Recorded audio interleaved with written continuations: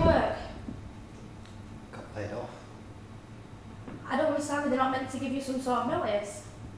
Guess the boss would be the laying off. Perhaps I could get them one.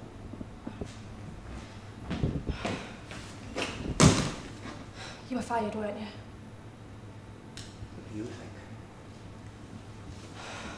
Dad, that's six jobs in three months.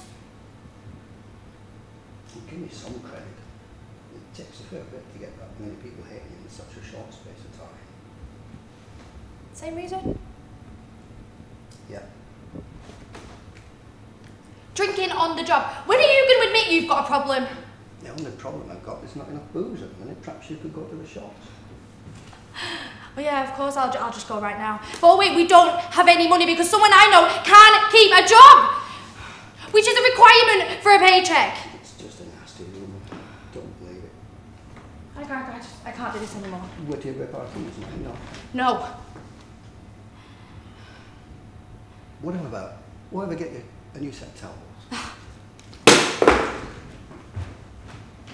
what about? Forget your dog. You could teach him to roll while they make a good pet.